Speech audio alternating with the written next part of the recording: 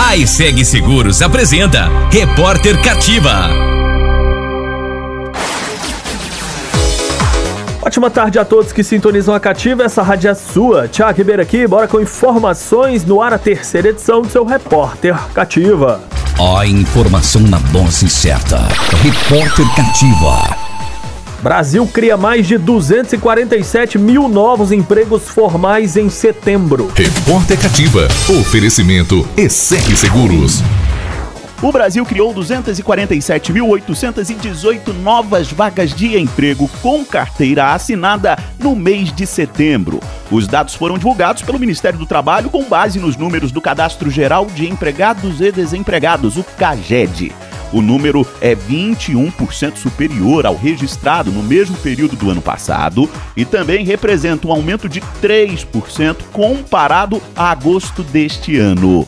O ministro Luiz Marinho destacou ainda que a geração de novos empregos em setembro ficou acima do que o mercado previa para o período. Portanto, nosso estoque vai para 47 milhões 998 mil 832 postos formais de trabalho dos cinco grandes grupamentos de atividade econômica, quatro com saldo positivos, mas no saldo do ano, nos nove meses, todos os cinco grupos positivos e todas as 27 unidades da federação também. Durante a coletiva para apresentação dos dados, o ministro Luiz Marinho aproveitou para rebater uma fake news que circula nas redes sociais de que o governo estaria estudando cortar benefícios dos trabalhadores, como o seguro-desemprego, por exemplo. Para mim isso não existe. O ministro do Trabalho nunca foi procurado por ninguém, nem presidente da República, nem ministro da Fazenda, nem ministro do Planejamento, para discutir qualquer, qualquer corte de, de benefícios aos trabalhadores.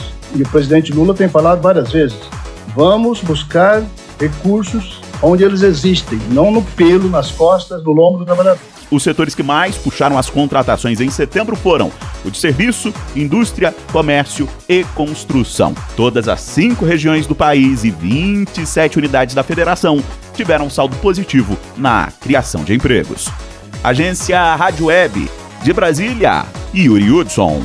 Chuvas são insuficientes para reabastecer o aquífero Guarani. Repórter Cativa. A notícia do jeito que você precisa. Um estudo recente financiado pela FAPESP revelou que as chuvas, apesar de intensas em algumas regiões, não conseguem repor toda a água consumida do aquífero Guarani. Por isso, o pesquisador do Centro de Estudos Ambientais da Unesp, Didier Gastmans, alertou sobre a necessidade urgente de práticas sustentáveis de uso da água para evitar que o Guarani sofra uma queda permanente em seus níveis. O que é importante hoje é a gente é, começar a, a conversar numa, em termos de uma gestão integrada de recursos hídricos, ou seja, olhar tanto para as águas subterrâneas quanto para as águas superficiais.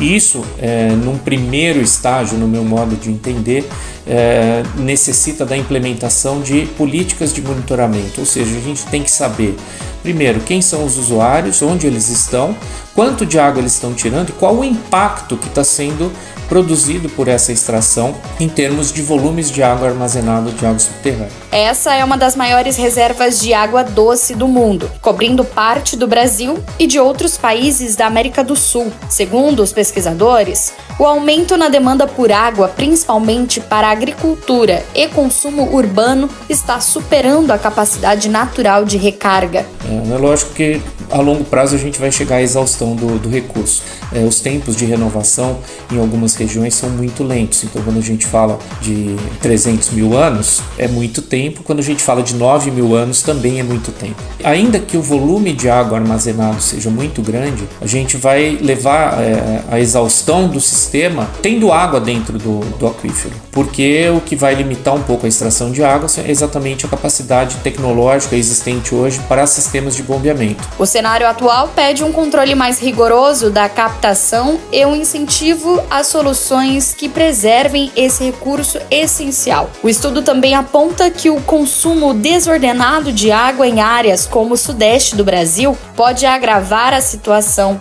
já que a recarga natural depende de uma combinação equilibrada de fatores ambientais, que estão sendo impactados pelas mudanças climáticas. Agência Rádio Web de São Paulo, Larissa Diamantino. Por aqui, previsão do tempo para amanhã, dia 1 de novembro. Aqui em Jataí, sexta-feira, sol fechando ainda de manhã, com chuva que se estende pela tarde. À noite, céu nublado com possibilidade de garoa.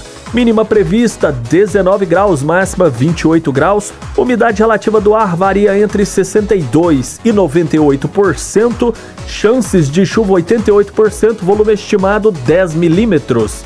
Informações Clima Tempo. Ficamos por aqui, final desta edição do seu Repórter Cativa, que volta amanhã às 5 para as 8 da manhã com Marcos Weder. Final de tarde excelente a todos. Forte abraço.